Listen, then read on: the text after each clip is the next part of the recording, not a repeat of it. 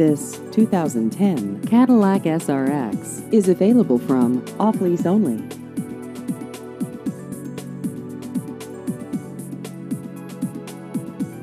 This vehicle has just over 16,000 miles.